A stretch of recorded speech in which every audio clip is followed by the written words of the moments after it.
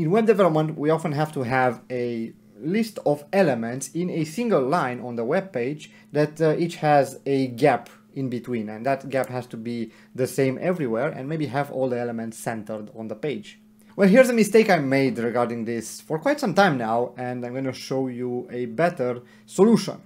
Well, we're going to start with a simple example. I'm going to have here a container and inside of it I'm going to create three divs. Alright, there we go and uh, I'm just gonna stylize those divs so that we can see them. Doesn't the style of them, the specifics doesn't matter. Something like that. If we try to refresh it, it's a bit small, so I'm going to actually zoom in quite a bit, so we can see that we have three boxes and they are on a on a different line, each one of them, because they are of uh, display type block. All right. Let's say we want to put them on the same line. If we want to do that, we can just go here, say container, and just say display flex. And if we refresh, okay, great, they are on the same line. Now let's say that I want to also center them on the page. So right now they are at the left of the page. We want to center them. To do this, we can simply do justify content center. Perfect, that's fine. If you know about Flexbox, this should be pretty easy so far. Now you might notice that there's no gap between those boxes uh, let's say we want to add this gap, usually what I would do is go here in the container div and add a simple margin. So I can say here margin right, let's say 10 pixel gap. Okay, perfectly fine. If I try to refresh it, at first glance it looks like it worked. We have a 10 pixel gap between each one of these. Trust me, this is 10 pixels, just zoomed in by 500% so you can see, but it is 10 pixels. Um, but something's not quite, quite right.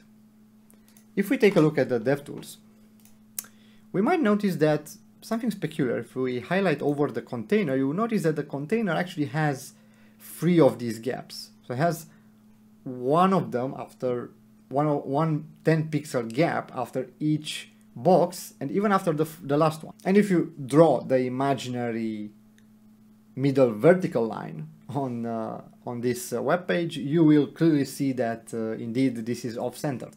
It's not quite uh, you know, in the middle of the screen, even though we have justified content, this, the, the whole flex box container, um, this didn't work. And that is simply because we have another gap that has been added to the whole width that we are centering on. So we're actually like five pixels off center.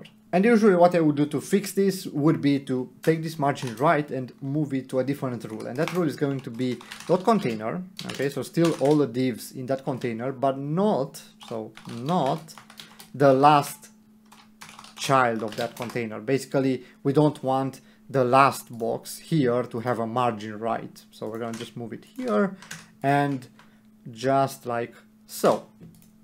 All right, if we try to refresh now, all of a sudden everything is centered properly. Now there are quite a few issues with this implementation. First things first, if uh, we have wrapping, so if we introduce for some reason wrapping, let's say to the container, I'm gonna say here flex wrap, I'm gonna allow it to wrap, and we also give it a uh, smaller width than it has right now. I'm gonna say 80 pixels here, and that should be enough for two boxes to fit in. If I refresh, you will notice that, well, it looks weird. Um, the two boxes have that 10 pixel gap, but like it's not even centered and the last one also doesn't have any more uh, margin, but that guy is centered. and another problem comes in if we also want the elements to wrap. How do we handle the uh, vertical margin? So how do we make each line have a distance between one and the other? Well, that's a bit more complex, but definitely it can be done if we, let's say we add a margin bottom. So we can say margin bottom, I don't know, let's say 10 pixels as well. If we add that there, that's fine, it works. It's just that it also adds to the, to the last element. And now the whole container is actually 10 pixels taller than it really should be. We don't need this guy to have a 10 pixel margin. So Sure, you could say that, well, we could edit uh, the same way as we did here, where we had uh, the margin right only on all the elements except the last element, but that, uh, that works in our case specifically. But if we actually change the width of our container to be, let's say, 72 pixels, and try to refresh it, well, you're gonna notice the same problem appears because now on the second to last element, we have that margin bottom that we don't need. So we can't really dynamically calculate which elements need that margin bottom and which don't. So that's uh, th those are the issues with this implementation. So we can all agree that uh, this implementation actually has a lot of flaws and there's a very good solution to this that has been uh, quite recently implemented but right now it should be supported on all browsers and that is using the gap attribute and I'm gonna first uh, remove this uh, width and the flex wrap of the container so we have everything as before I'm gonna remove the margins altogether as we don't need them anymore, we can simply use here attribute gap and what we can specify here is the gap between all the elements in a flex box. So we can see here 10 pixels. And if we do that and refresh, you will notice that indeed the boxes are actually centered and we have a gap of 10 pixels between each two of them. And if we take a look at the container itself, indeed it is properly centered. Okay and if we actually introduce this uh, width constraint to it again you will notice that they are perfectly aligned.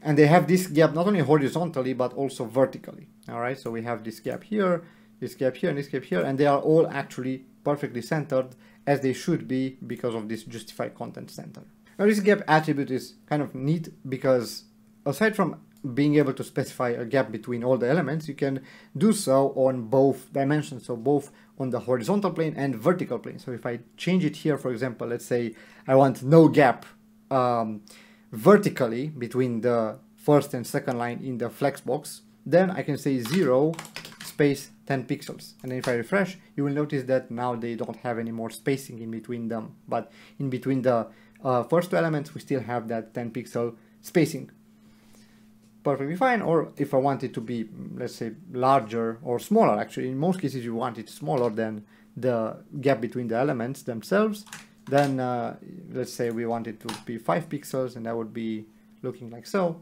that's perfectly fine very easy to use you no longer have to do some strange uh, CSS rules just to be able to have the the gap between a uh, flexbox elements be set. And of course, this gap attribute actually works not only for Flexbox containers, but also for grid layout. So we can change this to a display grid. All right, I'm gonna actually remove, let's remove everything. I'm gonna remove this, this, this, and even a gap.